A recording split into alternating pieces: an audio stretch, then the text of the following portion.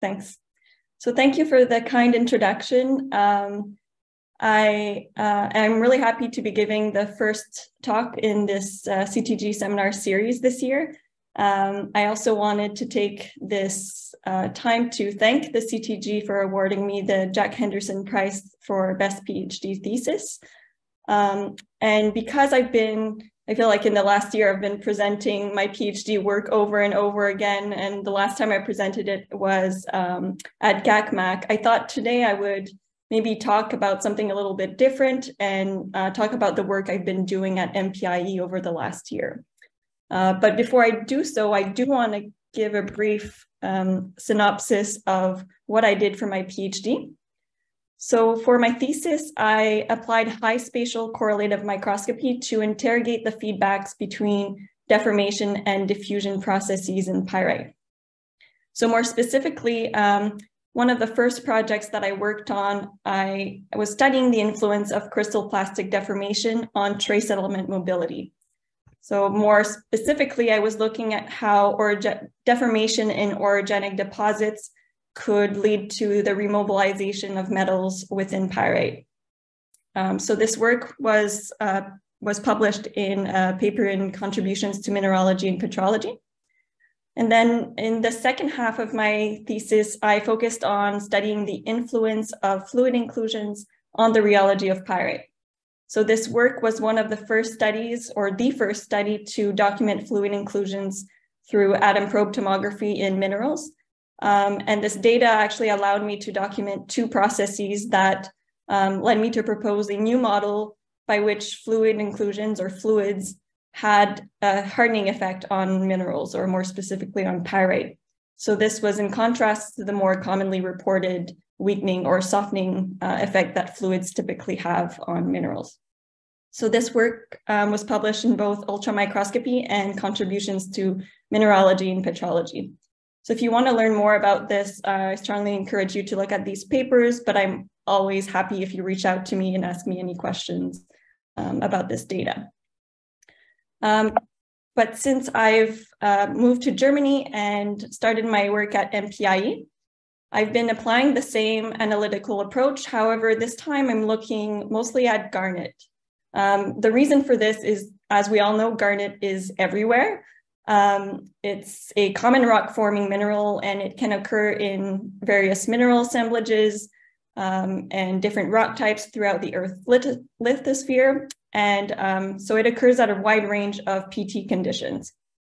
So I like to show these ternary plots here because um, they really show how uh, garnet can have various compositions so they can form solid solutions between the various end members um, or the pure end member compositions. And here we can, it shows uh, how these compositions occur in various rock types. So we can see they occur in high magnesium pelites, um, in granites, as well as uh, uh, ophiolite series and uh, anything from amphibolite facies rocks to granulite facies rocks. So one of the reasons why garnet is everywhere um, is because it has a very large stability field. So its stability field can range from anywhere from 300 degrees Celsius to nearly 2000 degrees Celsius and one to approximately 25 gigapascal. Um, so one of the, this is also one of the reasons why garnets is, uh, is commonly used in lasers because it can sustain such high temperatures.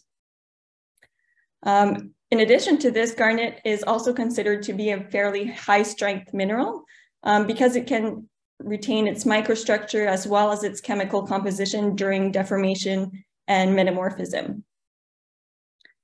Because of this, um, garnet is commonly used as a petrological tool. So we can look at the major and trace element compositions of garnets to uh, to use for a wide range of geothermobarometers uh, and geochronometers. And these can be combined for geospeedometry. So this can allow us to obtain pressure, temperature, and time constraints on tectonic events. So here I just show um, just two uh, examples of how uh, garnet can be used as a petrological tool. So for geochronometry here, we can see that we can use, we can look at the samarium, neodymium uh, isotope ratios for geochronology. Um, and for geothermobarometry, we can look at the mineral inclusions within garnet to determine, for example, the entrapment temperature and pressure at which these, these garnets formed. Now, what I want to focus on for this first part of this talk is diffusion profiles in garnets. So elemental diffusion profiles in garnet can be used to determine um, the duration of movement along shear zones. So this is great to determine, for example, um, the time scale or the, the duration of uh, earthquake events for, for one. Um, so the study that I'm showing here is a study by Camacho et al. in 2009. So in this study, um, they were looking at calcium and iron diffusion profiles in uh, relict garnet porphyroclasts from the Musgrave Block in Central Australia. So the two images here on the left, uh, these are electron microprobe maps uh, showing the distribution of calcium. So the warmer colors represent regions that are enriched in calcium, and then the cooler colors represent regions that are uh, depleted in calcium or relatively poor in calcium. And what we notice here is that we have these uh, compositional gradients along the rims. So with the rims being more calcium rich than the cores of the, gar of the garnets. And by integrating both the length scale of these uh, gradients with the diffusion coefficient for calcium or iron, um, we can then model the duration of movement along these high strain shear zones that the garnets were sampled from. Um, this model, however, um, it is based on the assumption that the dominant diffusion mechanism that causes these concentric uh, chemical variations is volume diffusion. However, um, more recent studies are starting to show more and more that um, both brittle and crystal plastic deformation can occur in garnet at high temperatures and low strain rates. So the brittle to brittle ductile transition zone for garnets is thought to be somewhere between 640 degrees Celsius to 750. Um, and here I'm showing images from a study from Hawemann et al. Uh, in 2019.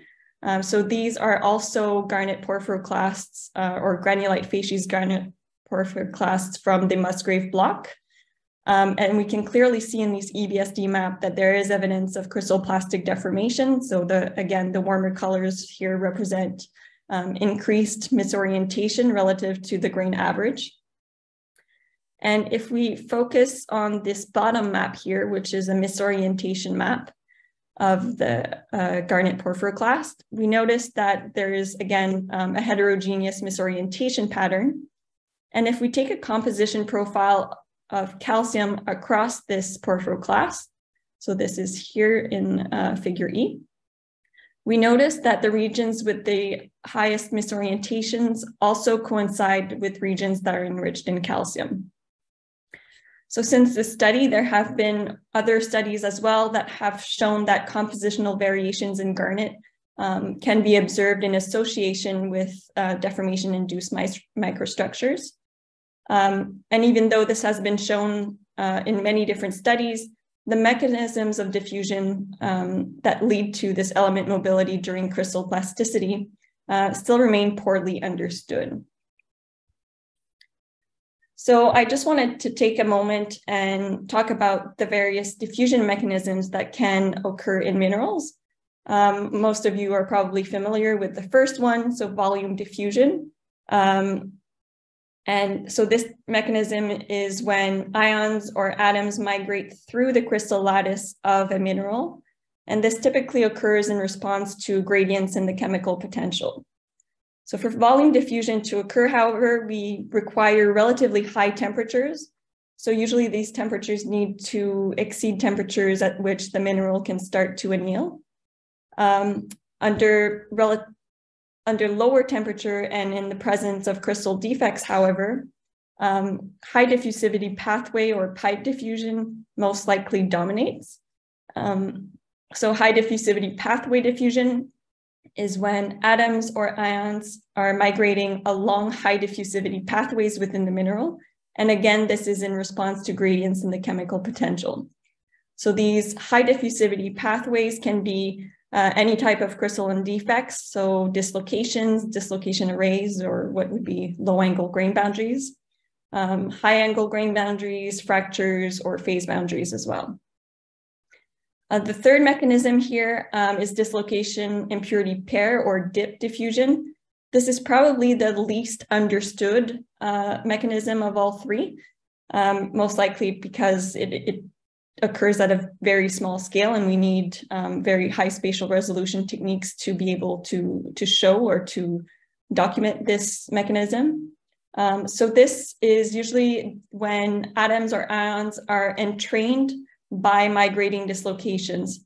Um, so usually dislocations uh, have a strain field around them and this strain field attracts, uh, attracts solutes into their core and then during dislocation creep processes, um, the atoms or the dislocations can entrain the solutes with them. And then this can lead to um, their enrichment along crystal defects such as low angle grain boundaries, for example. Um, you might have heard of the term Cottrell atmosphere. So this simply means um, solute enrichment along dislocation cores. So as I mentioned, to document or to discern between these various diffusion mechanism, um, we, we need to apply a correlative approach that involves high spatial resolution microscopy techniques. So in my research, um, I like to take a two-step approach. Um, so the first step is sample characterization and microstructural analysis. So to do this, I combine electron backscatter diffraction mapping or EBSD and electron channeling contrast imaging. So EBSD and ECCI uh, allow me to obtain both uh, quantitative and qualitative information about the deformational state of the sample um, at the microscale, and it allows me to target regions of interest for further analysis at the nanoscale. So for the second step, um, for the nanoscale structural and geochemical analysis of these regions of interest, uh, I typically combine transmission electron microscopy techniques, so either TEM or STEM uh, in combination with EDS or EELS mapping. And more commonly, I use uh, atom probe tomography. So I think most of you are probably familiar with the techniques uh, that I mentioned on the last slide, um, but you're maybe not as familiar with atom probe tomography as it is only recently becoming more and more popular in geosciences. So I thought I would take uh, a moment to, to give you a bit more information about atom probe tomography. So APT um, is a tool that is used for the 3D imaging and chemical composition measurements of various materials at the near atomic scale. So the, the benefits of APT is that uh, we get this third dimension in our chemical and structural data, um, and it has a very high mass resolution. So we can get to detection ranges of about 10 ppm. Um, however, the downside with APT is that we do have a lower spatial resolution than TEM. Uh, this is most likely, this is more or so due to uh, ion trajectory aberrations during the analysis. So for atom probe tomography, um, we first need to prepare our specimens into a needle shape. And this is typically done through focused ion beam milling. Um, and once we have our needle, we can put it into the atom probe and we sub we can subject it to an electrostatic field. And we do so by applying a DC voltage. So once we've established the, uh, created the electrostatic field at the tip of the specimen, we then, uh, at least in the case of insulating mater materials, um, as most minerals are, um, we then superimpose this field with laser pulses and um, this induces the field evaporation of ions on the surface of the specimen. So once these ions evaporate, they are then projected onto a time-resolved position-sensitive detector. So what we get at the end of this is we have time of flight mass spectrometry, and we have 3D spatial coordinates for each ion that was detected. So if we combine these, we can then recreate a 3D point cloud um, of our initial specimen. Okay, so today I will talk about um, two of my recent projects. So the first project, um, I wanted to investigate the mechanisms of element mobility during high strain deformation under dry lower crustal conditions. So for this study, I uh, looked at naturally deformed garnet porphyroclasts. Uh, these porphyroclasts were hosted in an eclogite facies mylonite that was sampled from the Musgrave Block in Central Australia.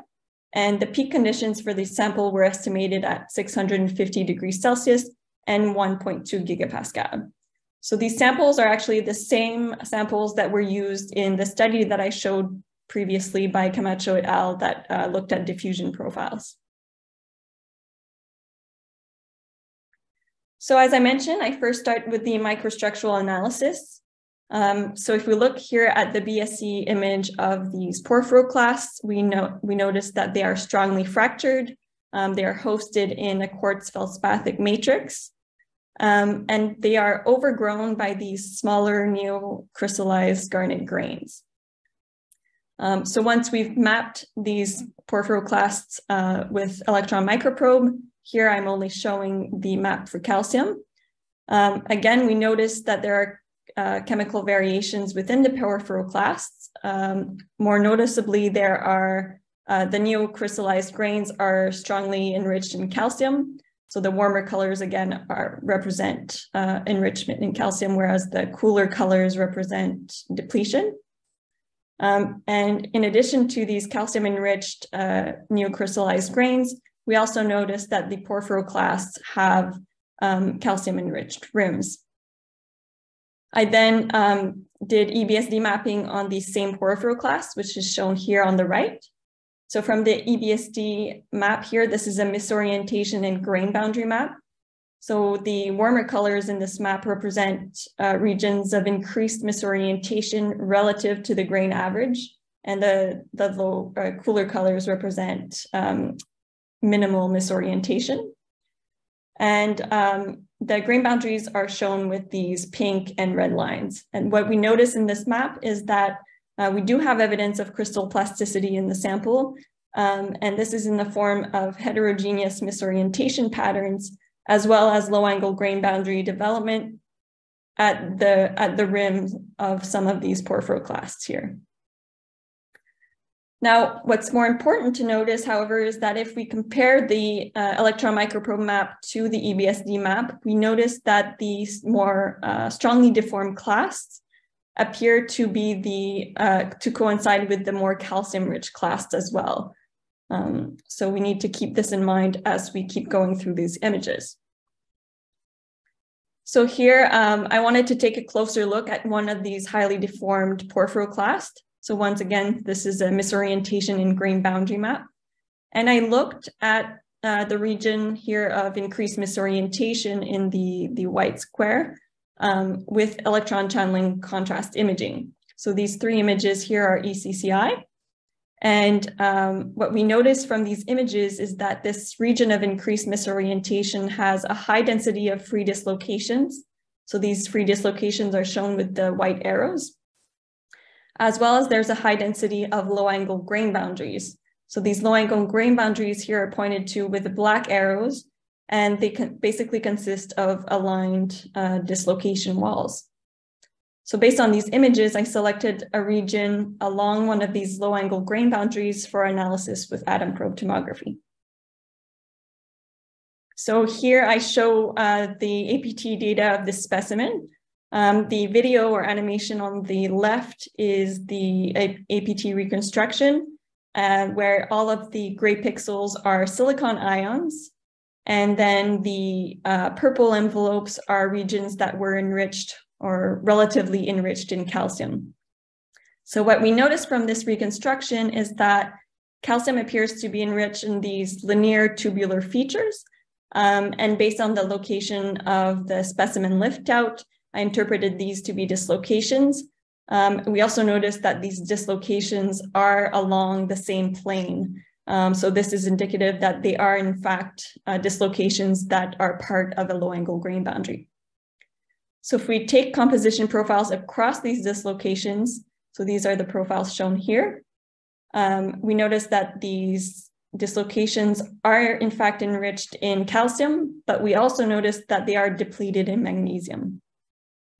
So based on this data, um, it's obvious that the main or the dominant diffusion mechanism for calcium in the specimen is not volume diffusion. So this leaves us with two options, either pipe diffusion or dip diffusion. Um, but to determine this, we'll, we will uh, come back to it a bit later. But first, I wanted to compare this uh, to specimens that were taken along a less deformed porphyroclast. So for this reason, I chose this porphyroclast here. So once again, it's a fractured porphyroclast in a quartz feldspathic matrix. If we take a closer look here in a high contrast BSE image of the rim of this porphyroclast, um, we don't notice any grayscale gradients or contrast orientation contrast values. So this is indicative that there isn't much crystal plasticity within the sample.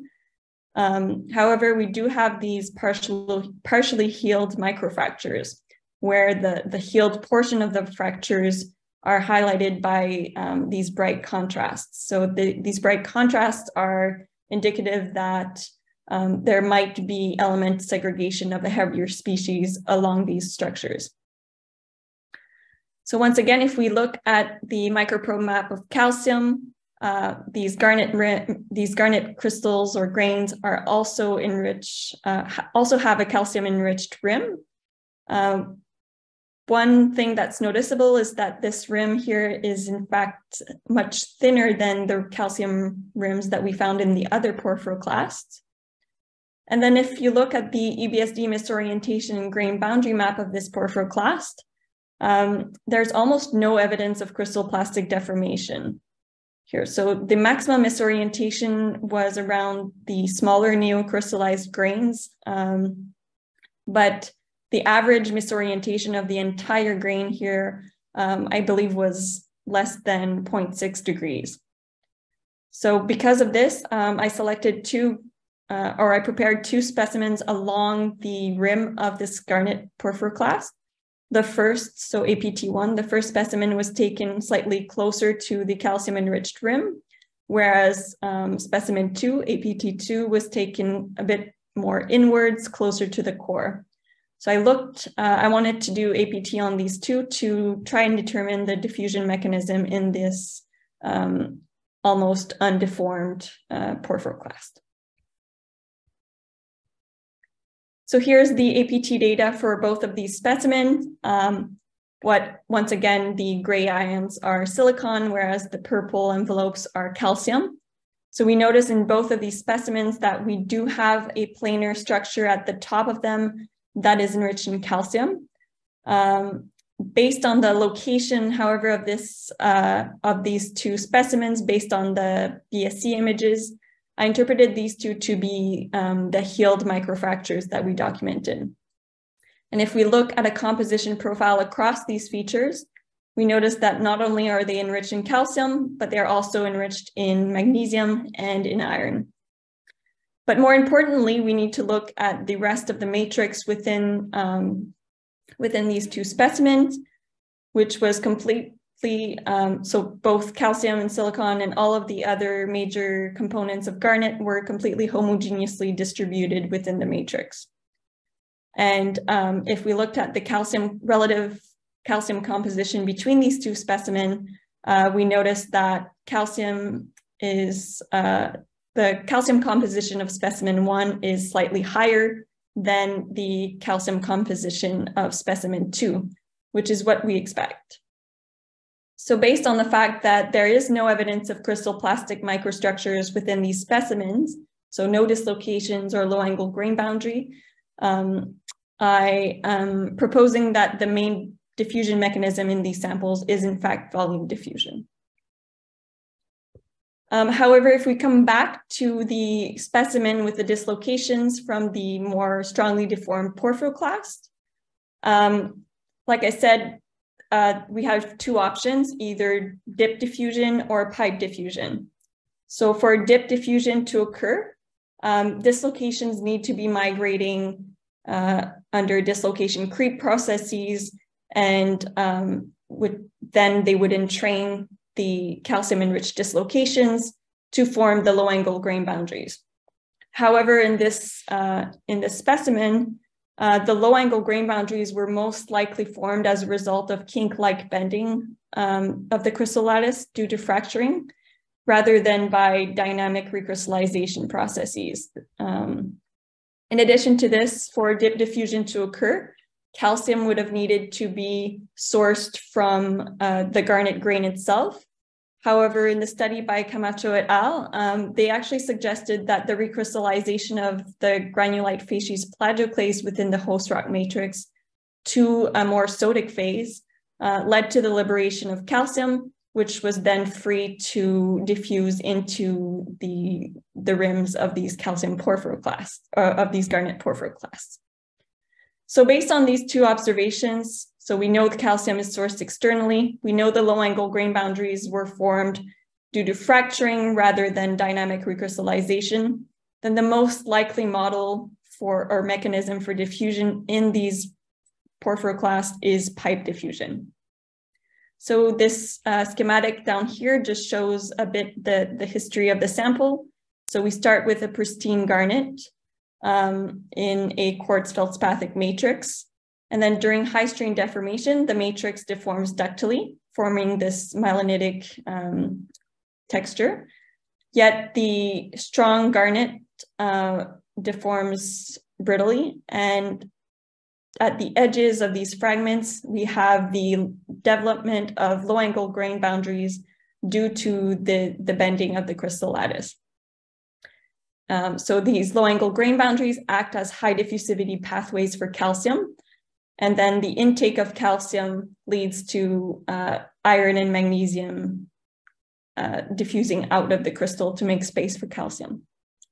So if we take a closer look at these low angle grain boundaries, once the calcium is segregated into the low angle grain boundary, instead of being distributed homogeneously, the calcium is attracted to the strain field of the dislocations, leading to their segregation along the dislocation cores, as we observed in APT. So our data is actually very similar to a recently published study by Taketo et al. 2022, um, they also combined EBSD and APT on uh, granulite facies garnets from the Lindås Nappe. And um, in their study, they, uh, they targeted a low angle grain boundary and they interpreted this low angle grain boundary to have formed due to dislocation creep and dynamic recrystallization processes.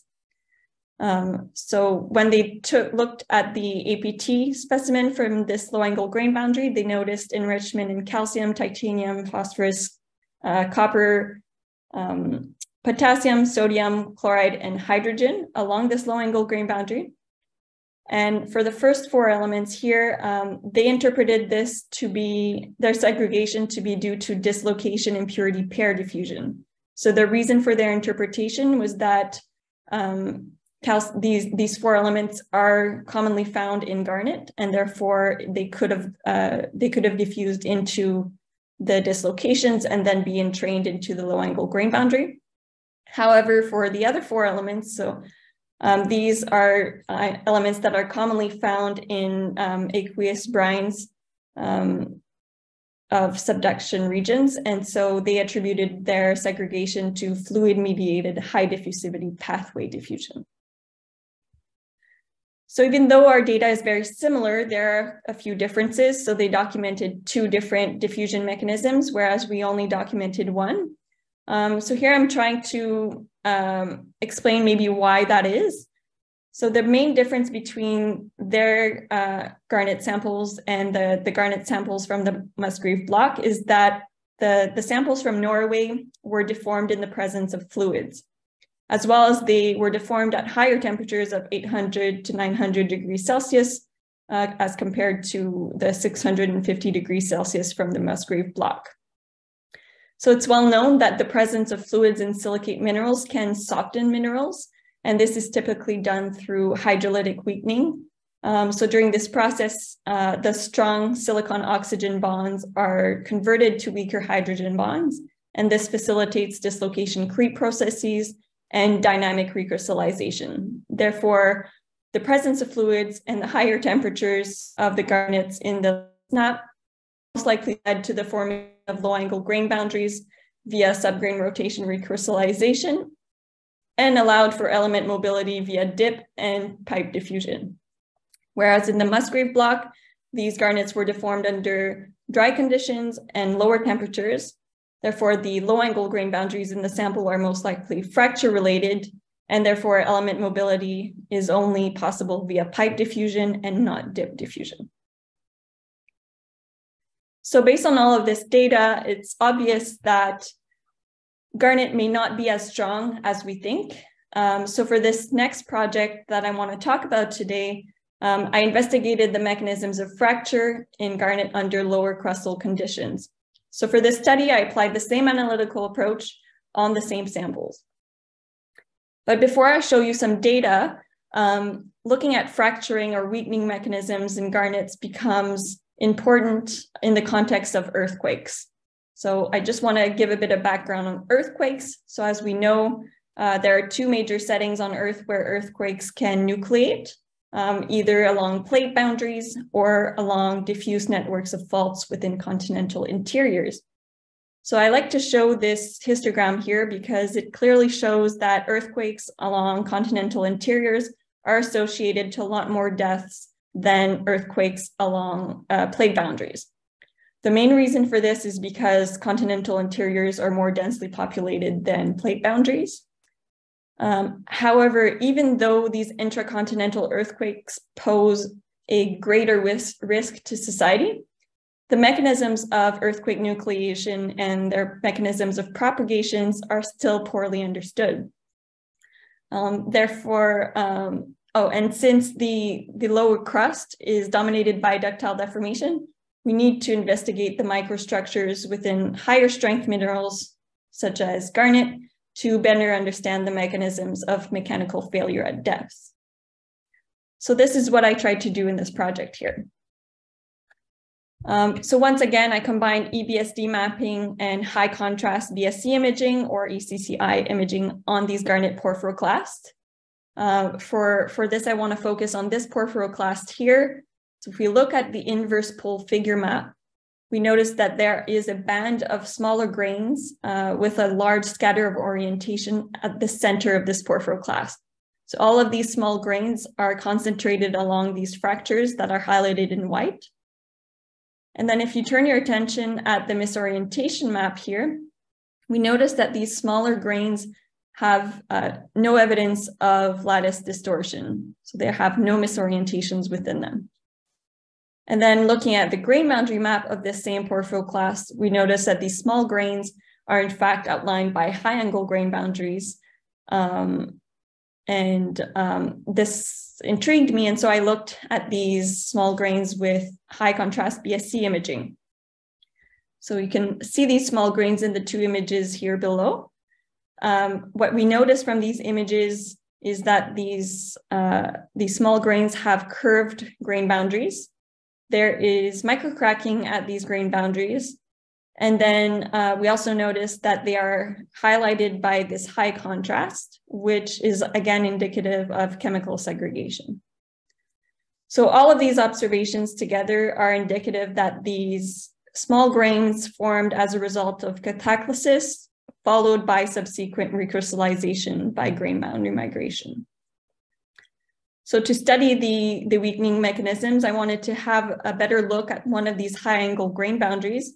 And so I prepared a specimen along one of them to look at or analyze with APT. So here I'm showing the 3D reconstruction of this specimen. Uh, in this case, I'm showing the distribution of iron atoms, which are all of these pink dots. And what we notice in this specimen is that on one side of it, iron appears to be completely homogeneously distributed. Uh, but on the other side of it, iron seems to form these equally spaced um, arrays of nanoclusters. So if we take a composition profile across some of these clusters, just shown here, uh, we notice that these clusters are mostly enriched in calcium and not really any of the other elements. So these results are strikingly similar to what has already been observed in nano-engineered metallic alloys.